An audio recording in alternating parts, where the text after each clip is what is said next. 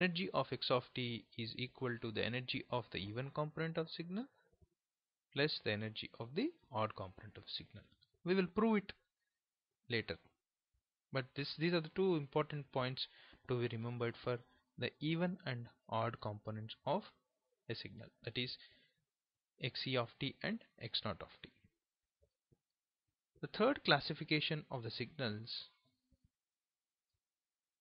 is energy and power signals. Energy and power signals. So a signal f of t is said to be an energy signal. This is said to be energy signal if its energy is finite. The name itself says energy signal, right? So the energy of this signal, the signal energy should be finite. That means the signal energy should be less than infinity. It should have some valid number, 2 joules, 3 joules. It cannot have infinity value. That means very large value. So mathematically, the energy of this continuous time signal, say f of t, is represented as integral minus infinity to infinity mod f of t square dt and if this is finite then we say that this signal is energy signal. So in this course we will closely observe and we will also classify the signals as energy or power signals but many times in other courses related to this communication engineering this energy and power these two these two ter uh, terminologies are used interchangeably.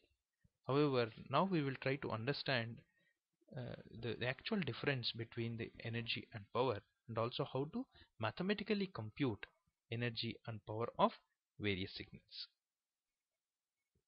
So energy signal has finite energy and it is also observed that these energy signals has negligible power. Energy signals have finite energy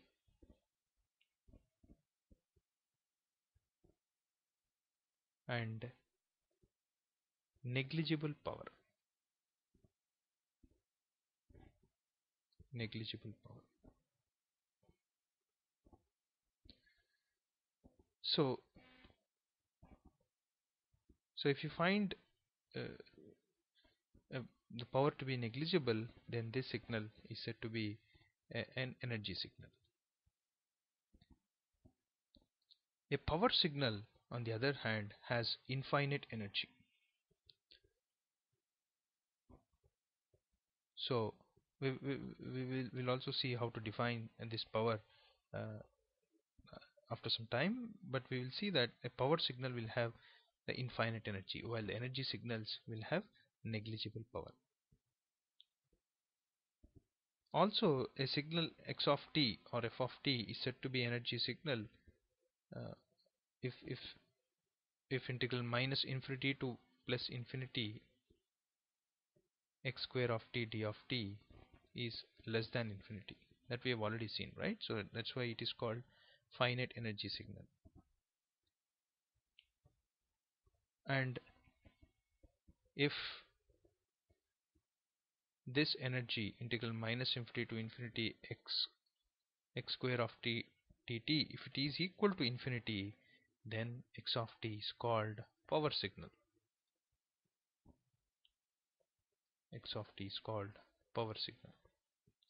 So a power signal has infinite energy. Please note that energy signal have negligible power and finite energy while power signals have infinite energy with themselves. Or we say sometimes we say power signal has infinite energy. Also note that all periodic signals all periodic signals are power signals all periodic signals are power signals. And that is true because periodic signals are those signals which have which are which are periodic periodic in the sense like which have a repetition rate. They are continuously repeating after certain amount of time. And that repetition rate is nothing but the the periodicity or or we denote it with capital T and call it as fundamental period since they repeat from minus infinity to plus infinity obviously the energy of this signal is also infinity. Because these signals they keep repeating. And as they keep repeating the energy also gets keep accumulating for these signals. And if you see the total energy that will always be very large. Infinity don't take the uh, absolute uh, value of infinity. Infinity in communication theory means very large value. Okay? So don't take it don't take the mathematical definition of infinity. You can never have no infinite value. But you can always have a very high value. That very high value is classified as an infinity value in communication theory. So that is why we can directly say that all periodic signals are power signals now as we know there are two types of signals continuous time signals and discrete time signals so we can define the energy and power for both these signals. So if x of t is a continuous time signal then let us summarize the definition the mathematical definition of energy and power of x of t. So for continuous time signals for continuous time signal say x of t x of t is an example then you can find energy as limit t tends to infinity integral minus capital T to plus t mod of x of t square dt or you could also represent as integral minus infinity to infinity norm of x of t square. So the mathematics student you would understand this norm concept right? So this is similar to each other. And the power of the signal we say it as average power. Average power of the signal can be obtained as limit t tends to infinity 1 by 2t integral minus capital T to plus t mod of x of t square dt. This is how you find out the average power of continuous time signals. And for discrete time signals, discrete time signals, say x of n. Is a discrete time signal. Then the energy of this discrete time signal can be mathematically computed as integ sigma n equal to minus infinity to plus infinity mod of x of n square. And the power of the average power of the discrete time signal can be obtained as limit capital N tends to infinity 1 by 2n plus 1 sigma n is equal to minus capital N to plus n mod of x of n square. So, the following classes of these signals can can finally be defined as x of t to be an energy signal. X of t is energy signal.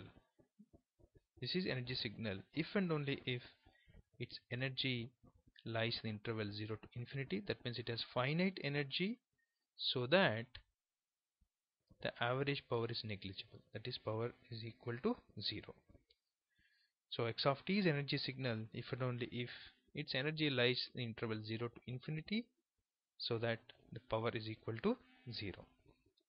Number 2 x of t is a power signal. X of t is a power signal. And what is the condition for this? So the power should be finite and the energy should be infinity very important. The average power of the signal should be finite. That means it should lie in the interval 0 to infinity but the energy of the signal should be infinite. And if there is any signal which is which doesn't satisfy either of these two properties then these are called neither power signals nor energy signals so they will be neither energy signals nor power signals.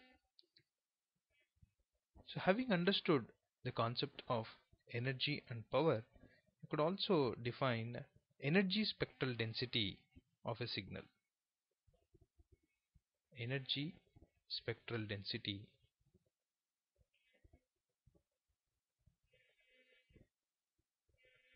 Or power spectral density of signal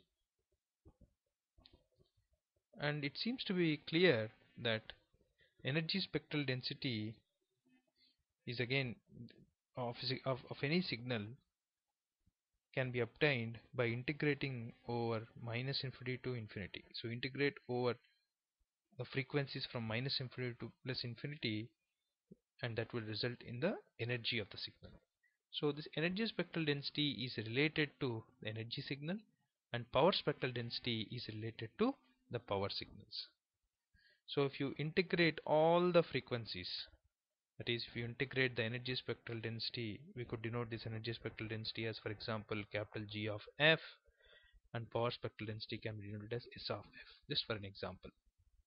Then if you integrate from minus infinity to plus infinity over this function that will give you the energy of the signal. And if you integrate the power spectral density from minus infinity to plus infinity that gives you the power of the signal. So it is not necessary that you know you calculate energies and power only in the, the continuous or discrete time domain.